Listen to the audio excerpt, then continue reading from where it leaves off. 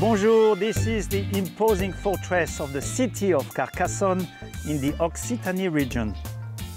Carcassonne was first fortified in the 5th century and now is a UNESCO designated World Heritage Site. The Saturday market is one of the liveliest I have visited. This region loves its meats. White veal is popular and sold in many cuts.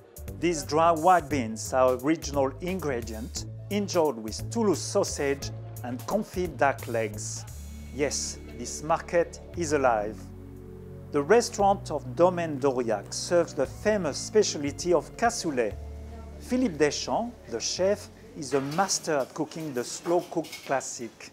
Il faut bien compter euh, 3h30 à 4h pour faire un cassoulet. The dish is assembled in special ovenware bowls called cassoles. Au départ, dans la casserole, nous mettons le confit de canard avec l'échine, la poitrine, la saucisse et de la couenne.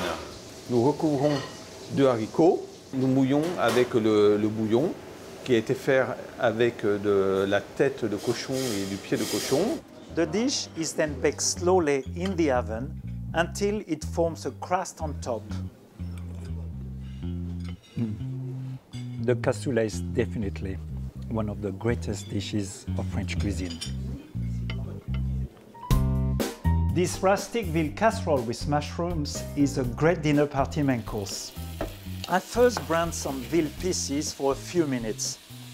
Season with salt and pepper, stir in some chopped onions, and sprinkle some flour over the meat.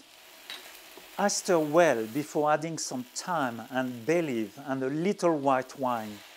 Next, go in some veal stock and carrot pieces.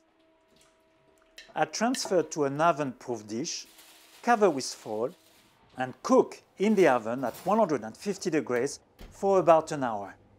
If you have time, cook it longer at a lower temperature. Just before serving, I heat some olive oil in a large pan and cook some mushrooms on high heat. I stir in some chopped garlic and parsley, add some cream, bring to the boil, and add some lemon juice before adding the cooked veal casserole. I like to serve it in a deep plate. This cocotte de veau aux champignons is very popular. Graham Nutter, owner of the Chateau Saint-Jacques d'Alba, north of Carcassonne, produces fine whites, rosés and red wines. His picturesque vineyard is cultivated with care, using natural techniques, and his winery has state-of-the-art equipment that helps in making purer wines.